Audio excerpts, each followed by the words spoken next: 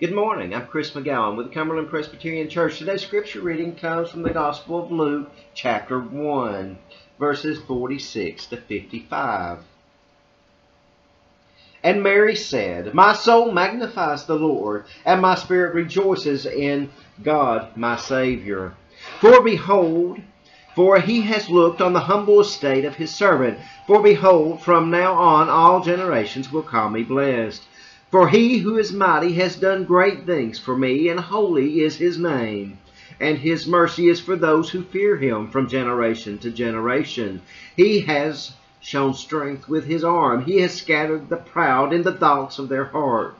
He has brought down the mighty from their thrones and exalted those of humble estate. He has filled the hungry with good things, and the rich he has sent away empty. He has helped his servant Israel in remembrance of his mercy, and he and as he spoke to our fathers, to Abraham, and to his offspring forever. This ends today's reading of God's Word. Praise be to God, and may the peace of Christ be with you.